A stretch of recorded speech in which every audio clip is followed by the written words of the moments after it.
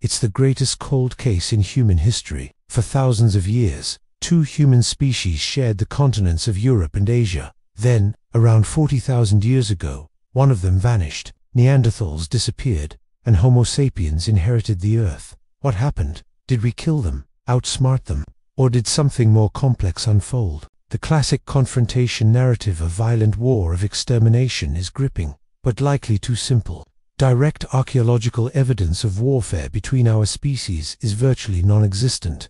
No mass graves with Neanderthal bones bearing sapien-style weapon injuries, while conflict almost certainly occurred when groups met, as it does between any competing predators, it's unlikely to have been a coordinated genocide. A more compelling theory is that we simply outcompeted them. Homo sapiens may have possessed a slight edge in efficiency. Our social networks might have been larger and more complex, allowing for better cooperation and information sharing across wider territories. Some evidence suggests we had more advanced projectile technology, like throwable spears, allowing us to hunt from a safer distance. We may have simply been better at exploiting scarce resources, slowly squeezing Neanderthals out of the best hunting grounds. Then there's the climate.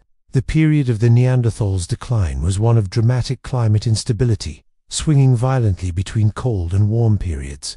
This would have disrupted the large game herds they relied on. Their small, isolated populations, already stretched thin, were incredibly vulnerable to these shocks. For a species already struggling, environmental change could have been the final push over the edge.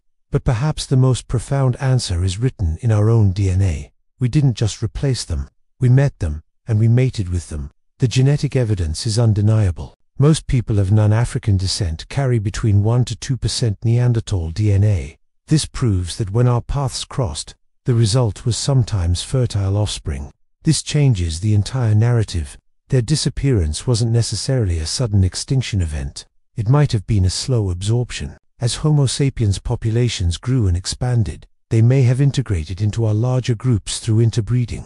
Over generations, their distinct genetic signature could have been diluted, swallowed by the wave of new arrivals. They didn't just die out, they became part of us. So, what really happened?